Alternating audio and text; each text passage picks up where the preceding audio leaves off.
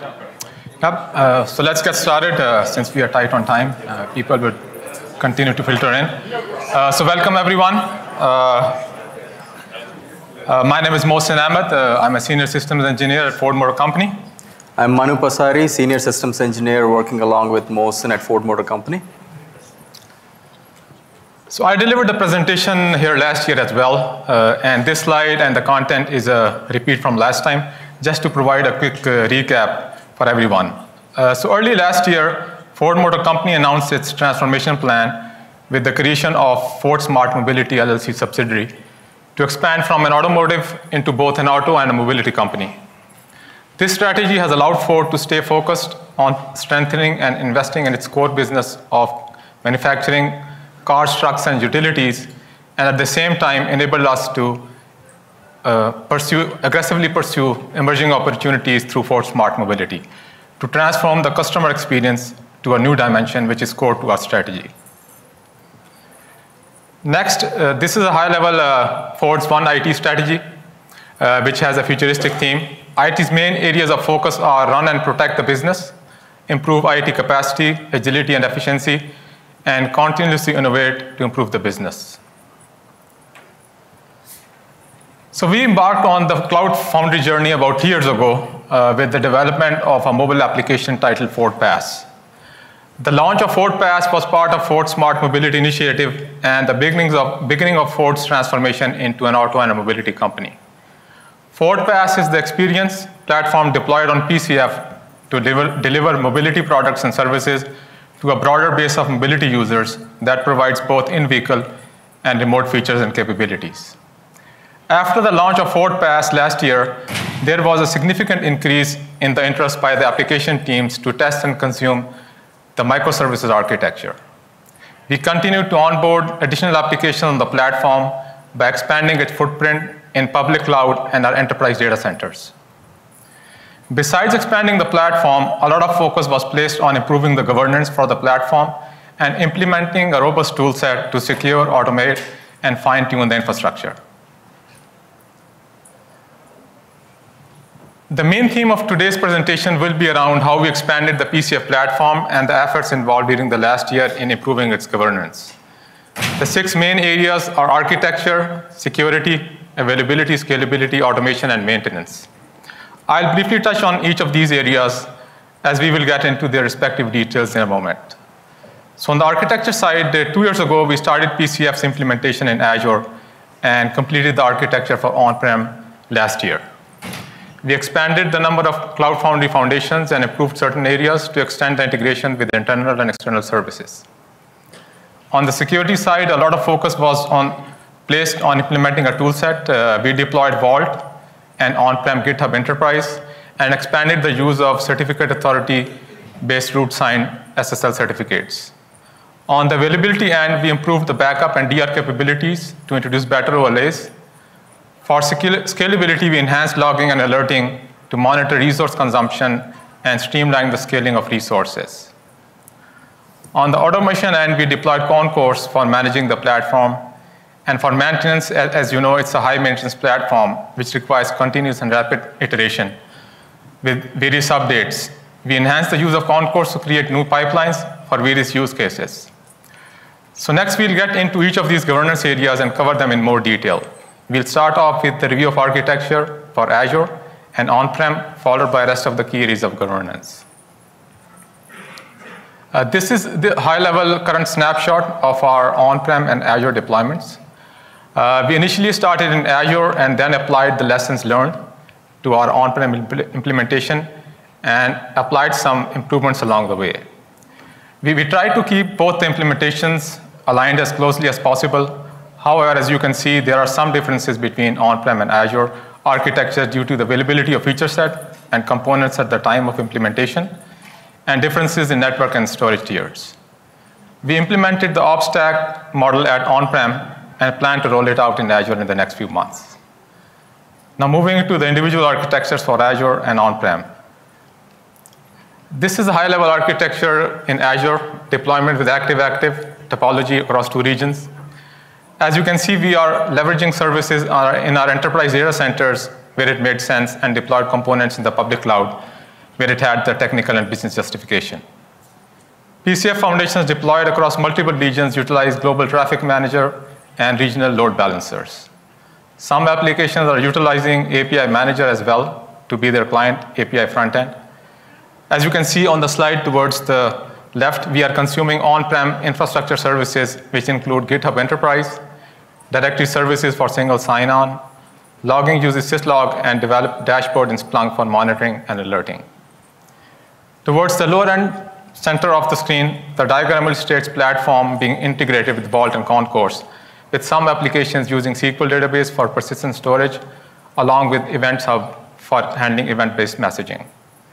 Next, Manu will cover the details for our on-prem architecture and will delve into the commonalities and uniqueness of the PCF platform in Azure and on-prem by touching on the areas of architecture, security, scalability, and availability. So, Manu. Thank you, Mohsin.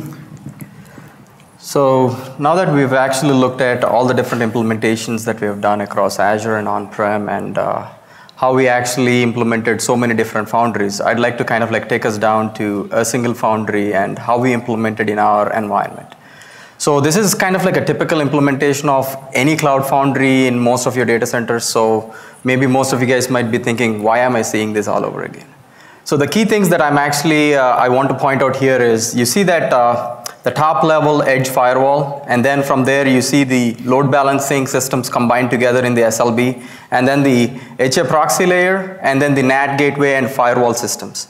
And the reason why I touched these points are, these are the ones that are actually, that were the most pain points for us, which we actually solved um, using different mechanisms uh, throughout our uh, implementation phases. So uh, what this gave us is different uh, points of control points for us to make sure that the ingress traffic is a known traffic and also we had a control point on the egress traffic as well with the NAT gateway or the firewall device that we had.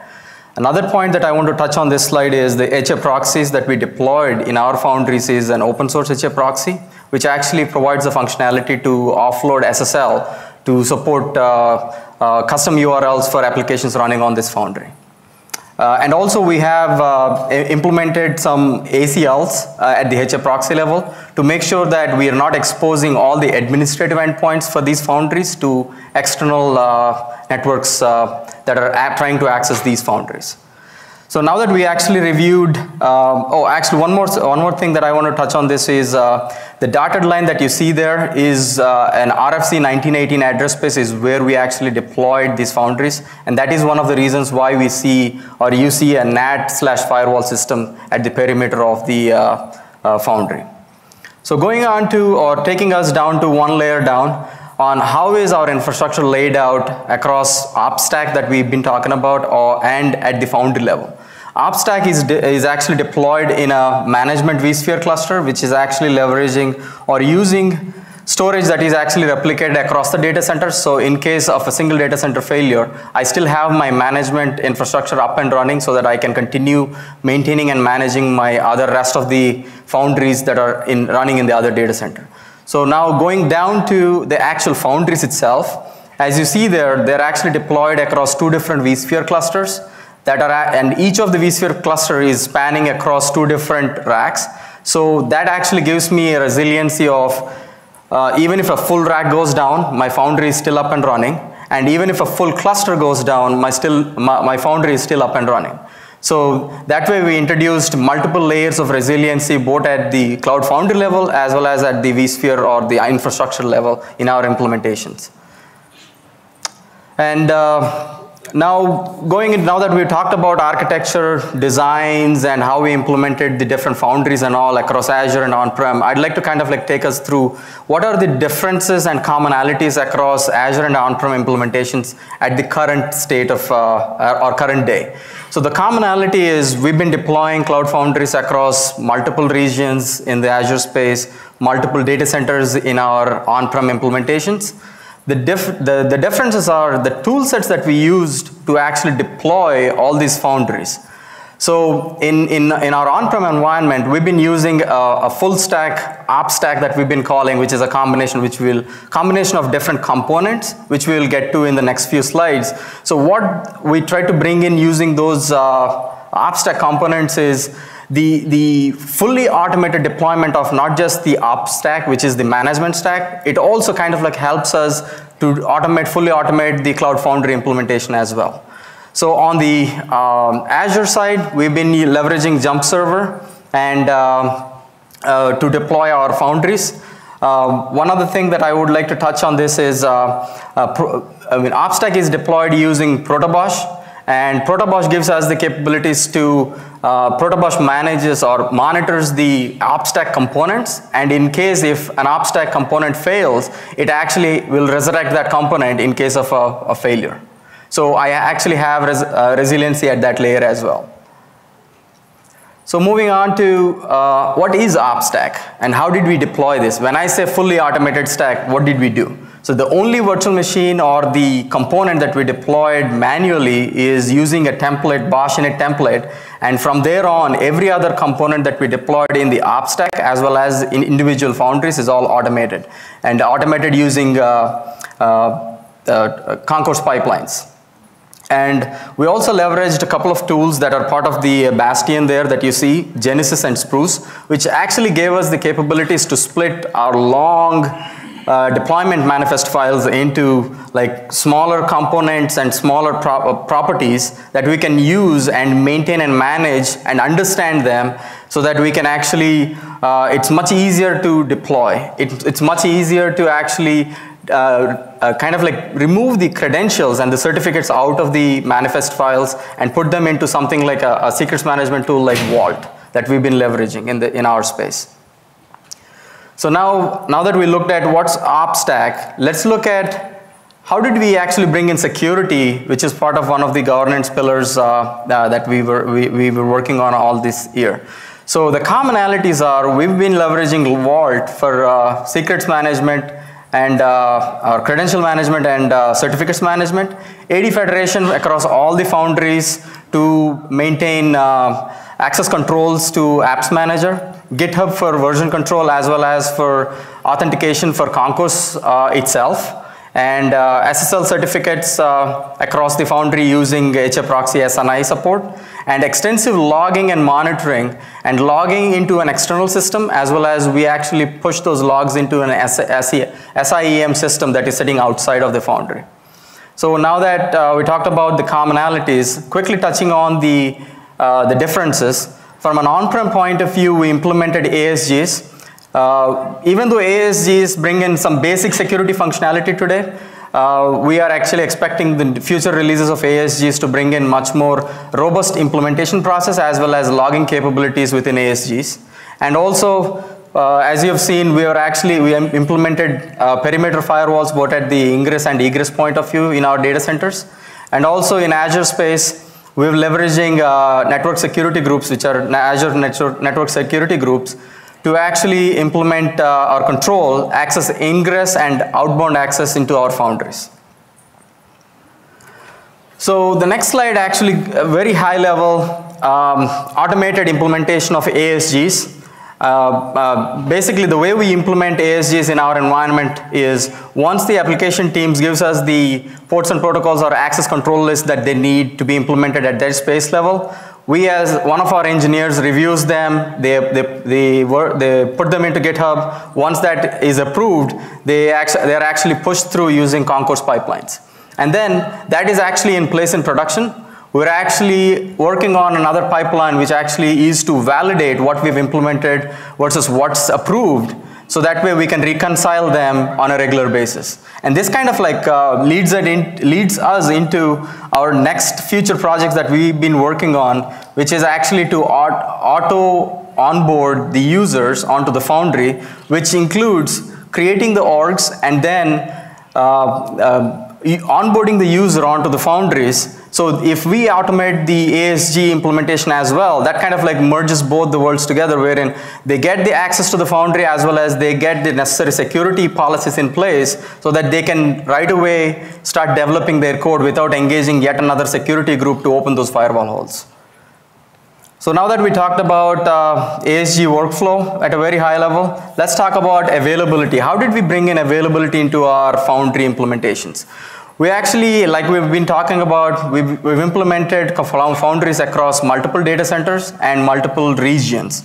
And we also have GemFire replication across multiple uh, foundry implementations. Have extensive logging and monitoring and also alerting in place that actually alerts or sends alerts of anything that happens to uh, our operations team, which to act, for them to act on a regular basis. And then the differences are uh, the, in the tooling that we've used to back up the data, the metadata that is critical for the foundry to be resurrected.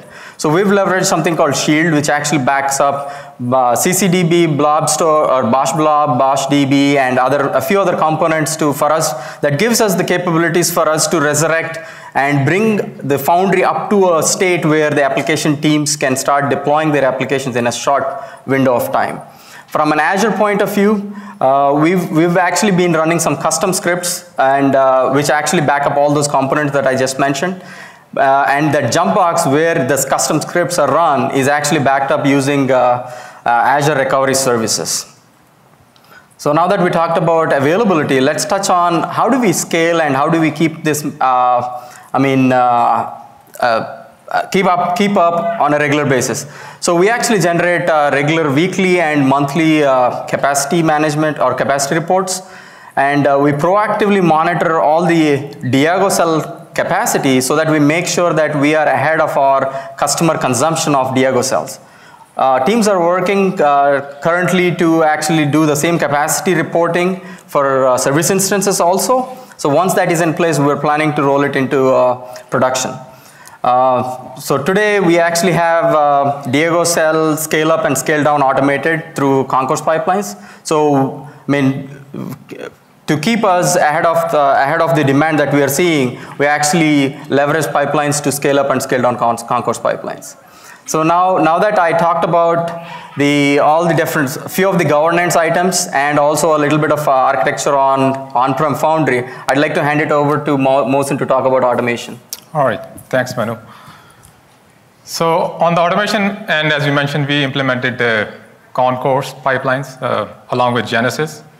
Uh, so as you know, deploying code or updates uh, across multiple environments uh, can be a challenging task, especially when it comes to ensuring that there are commonalities like IaaS properties and networking are common and when, they're, when where they are common and where they should be specialized.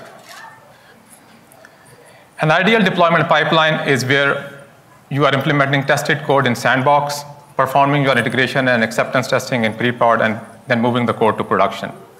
Uh, we encountered significant challenges when we needed to make changes to the common elements of these different environment, environments and observed that without proper discipline, these different environments can easily drift, leading to negative consequences. To address these challenges, we introduced Genesis, Spruce, and Concourse in our environment. So just to give a level set of, uh, to everyone what Genesis is, Genesis basically changes the scenario of making changes to the common elements of these different environments by breaking up the BOSH configuration manifest along three logical strata, global, site, and environment. At the top, the most generic configuration is considered global. Uh, this is a general outline of the deployment, uh, what jobs on which instances is specified here and used everywhere. Beneath that, the site stratum defines the composition and co configuration of the infrastructure. And at the lowest level environment, it provides the place to set the networking for a single deployment and specify the override properties and scaling factors. Genesis combines these different levels of configuration to produce a single manifest, single BOSH manifest for each environment and uses another tool called Spruce to handle overrides and references in a straightforward and a predictable manner. At this point, we can leverage Concourse to consume the manifest produced by Genesis. So this is the architecture how we implemented Concourse, a pretty standard way of deployment. Uh, a single implementation of a web front end uh, with a backend database and a cluster of workers across all the foundations.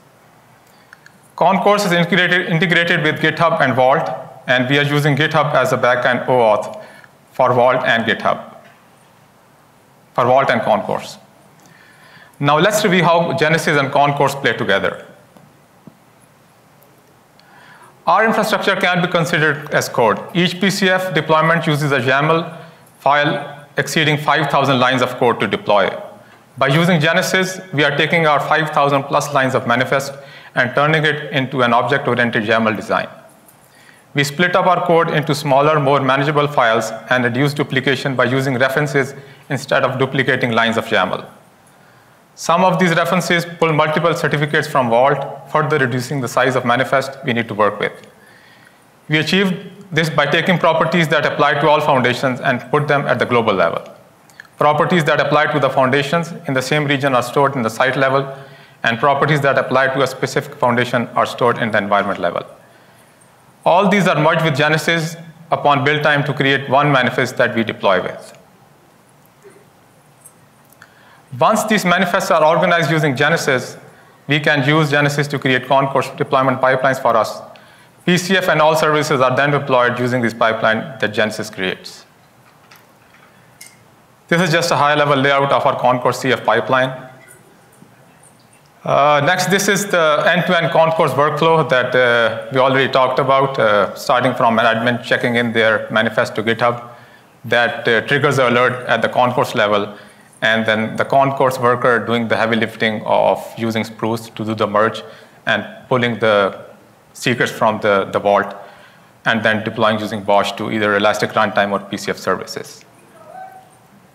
So next, uh, Manu is going to get into our day two operations and how our operations team is managing the platform on a day-to-day basis.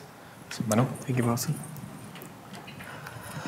All right, so now that we talked about all the automation that we built in, all the different architectures, how, how is our operations team managing this on a regular basis? So what, we have a daily stand-up call uh, in our environment. So every day pretty much the operations team looks at efficiencies around how what are the different things that we can automate today that's the mindset that we start with so so far they've been able to like you have seen they uh, automate the deployment upgrade scaling reporting on a regular basis uh, to our management we also are in the process of uh, bringing automation around like i mentioned briefly early on on how do we actually automate the process of onboarding a user without an ops team getting engaged in the uh, onboarding process. So that's being actually coded and tested in the lab environments. Pretty soon we hope we can roll that into our production environments. And also briefly touched on this other next line item as well. We actually have uh, pipelines being built to actually uh, reconcile the ASG rules that we have documented in GitHub versus what's being running so that way we have a good understanding and a clear picture of why a particular application is working versus not working. So that's the operational activity. And coming to the maintenance activity uh, uh, of the foundries, we actually created a true DevOps model in our environment where engineering team and operations team work hand in hand. We, we basically sit in the same room working hand in hand. We created a very efficient and nimble environment where we iterate through, we discuss through what are the different versions needed, the compatibilities and things like that so that we can actually keep upgrading and fixing the code or fixing the systems to facilitate our application team's onboarding process, the application uh, code itself. There were some, some instances where we had to work with the application teams to actually fix their, help fix their code. So that's the kind of environment that we, uh, we, we work in. We actually extensively leverage uh, uh Concourse pipelines like we, we saw in our uh, earlier slides. Uh, we actually perform platform upgrades during normal business hours. That's the most important thing that I'd like to stress on here. Um, now moving on to, now that we talked about operational activity, the maintenance of it, let's look at what are the challenges and lessons learned uh, by our team over the last uh, year to two, two years uh, period of time. So we actually ran into, for specifically from an on-prem point of view, we ran into the license limit at the LTM level by running only one performance uh, running of only one application with eight microservices running within the foundry. So what we did is we worked with our partners, brought in this custom or open source HA proxy, which actually brings in the SNI support and the custom URL uh, support to alleviate that problem. And we also have the capabilities to scale up, scale down HA proxies because it's BOSH deployed and BOSH managed.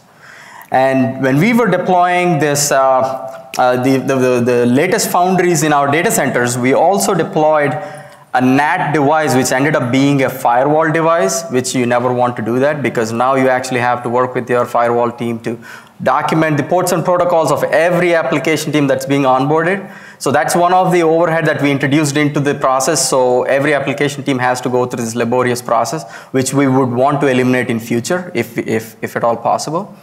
And then in order for us to give a true active-active sense from an application point of view, we actually had to introduce something called GSLB sticky configuration to continue maintaining the user session to a given Cloud Foundry for about 20 minutes time for, to avoid him going through the loop of authentication loop if he was bounced back and forth across the foundries.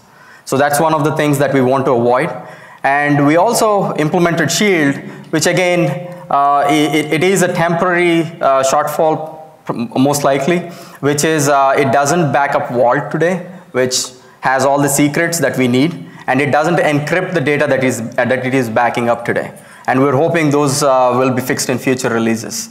And now I'd like to hand it over to uh, Mohsin to talk about challenges on Azure Space. All right, thanks, Manu. Uh, so some of the, the lessons learned or the challenges in the Azure space uh, we found out that the network, uh, address space has to be unique across all your foundations. Uh, that just makes the, the logging and the integration of toolset uh, much easier. Uh, there's a limitation of mounting external storage in Azure uh, to one terabyte, but I think with the recent announcement from Microsoft for managed disks, we will be evaluating that feature in near future. another thing, we don't have the ability to create custom roles to, to delegate granular permission set to our developers. Uh, and on the concourse pipelines, we've seen uh, th they aren't fully portable. there's still manual work required for deploying Cloud Foundry from one environment to another. And on the logging side, uh, we ran into issues where anytime a developer turns on verbose logging, uh, especially since we are using Splunk in the backend, it has exceeded our threshold for the licensing. So that does uh, create an issue on the, the, the logging. Uh, now what's next? Uh, so the, some of the items uh, we plan to focus on is to draw more alignment across our Azure and on-prem architectures uh, and the toolset. Do frequent uh, credential rotations, uh, definitely logging and monitoring enhancements. we like to evaluate some of the Azure service brokers around event hubs and Cosmos database. we like to introduce a self-service developer portal where they can developers can go in and create their own orgs. And there's another initiative in uh, works right now for the software development, uh, develop ecosystem, where we, where we would like uh, to just not automate the CF, but the tool set as well, including Jenkins and some of the other things. So before we open up for QA, I just like to recognize uh, one of our team members, Tim Deichelborg. Uh, he couldn't make it uh, to the conference. He's part of our PCF Ops team. He helped us putting this deck together. And I see uh, Chris Gullion and his team, uh, they've been very helpful uh, along the way. Post-implementation in automating our Cloud Foundry through Concourse and implementing that tool set. So with that, I open the floor for Q&A.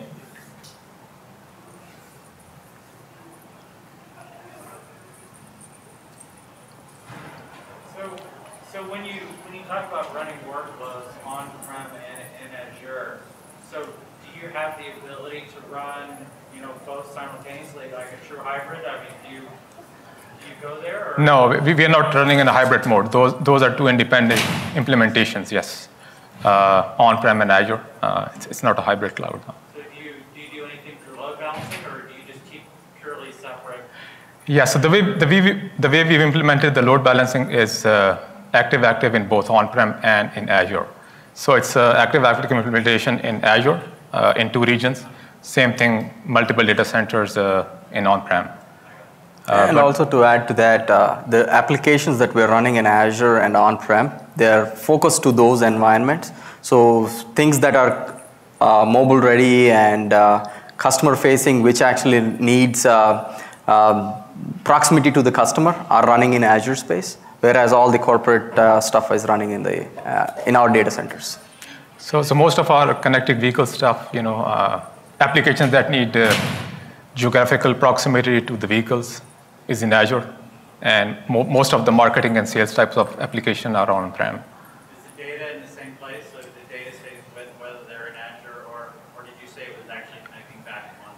Uh, part of it is in Azure, uh, but we are bringing back all the logging data. Uh, especially with our deployment in China, there are some uh, regulatory constraints also to keep the data in those specific regions. So it's a mixed bag. Yeah. Any other questions? All right. All right, uh, thank you We're out of time. Thanks everyone for coming. Thanks for attending.